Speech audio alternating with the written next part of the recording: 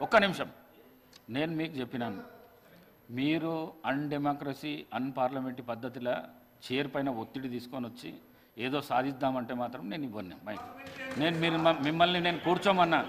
నేను సభ సభా మర్యాదలను కాపాడండి హరీష్ రావు గారు. సభా మర్యాదలను కాపాడండి కేటీఆర్ గారు. మీరు కూర్చోండి. నేను నేను ఇస్తాను మైకు అని చెప్తున్నా నేను. మీరు నిలబడితే నేను అస్సలు ఇవ్వ నేను మైకు. నేను అస్సలు ఇవ్వ. కోమటిరెడ్డి వెంకటరెడ్డి గారు మాట్లాడండి. Sir speaker sir. ముందు ముందుగా ముందుగా మా గౌరవ ముఖ్యమంత్రి గారికి ఈరోజు రాష్ట్రంలో దాదాపు ఇరవై లక్షల మంది నిరుద్యోగ యువకుల కోసం వారు ఆలోచన చేసి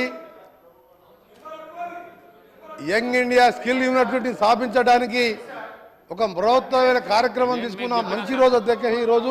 గారు నేను మీకు వారు నాక్ చైర్మన్ హోదాలో చెప్పినాను.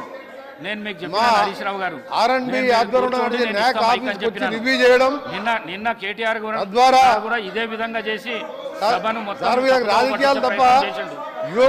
యువకుల మీద యువకుల. మీద యువకుల భవిష్యత్తు మీద వీళ్ళకి. ఇంట్రెస్ట్ లేదు మీది. ఇంతసేపు రాజకీయాలు తప్ప ఈ రోజు రాజకీయం ఇంత చేస్తే మంచి నేను కార్యక్రమాన్ని మొదలు పెట్టుకుంటున్నాం ఈ రోజు ఒక యంగ్. ఇండియా యూనివర్సిటీకి శంకుస్థాపన చేసుకోబోతున్నాం. మీరు కూర్చోండి మీకు. యువకుల మీద ప్రేమ. లేదు రైతుల మీద ప్రేమ లేదు ఇంతసేపు రాజకీయాలు తప్ప.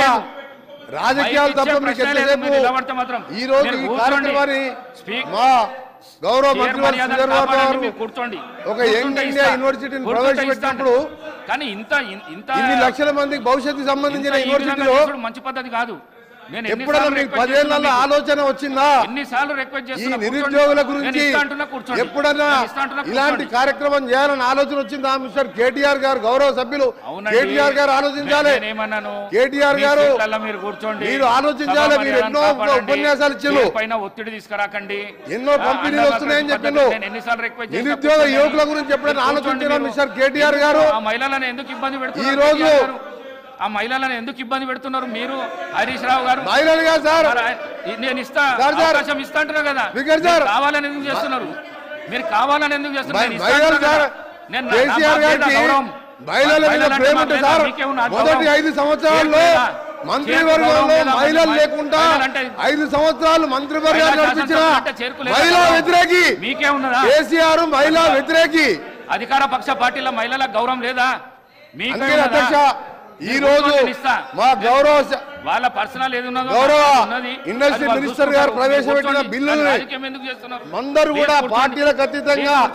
అందరూ సహకరించండి ఇరవై లక్షల మంది యువకులకు మా NAC national academy of construction మా ఆర్ఎండ్బి శాఖ ద్వారా చేసే కార్యక్రమంతో పాటు ఒక యూనివర్సిటీనే దేశంలో మూడో యూనివర్సిటీ ఏర్పాటు చేయడానికి మా ముఖ్యమంత్రి గారు తీసుకున్న నిర్ణయం యువకులకు ఇవాళ వాళ్ళ భవిష్యత్తును మార్చే విధంగా ఒక మంచి కార్యక్రమం తీసుకున్న అధ్యక్ష. మీరు ఈరోజు మా మా మంత్రి గారు చెప్పారు. ఈరోజు ఇంజనీరింగ్ కోర్సు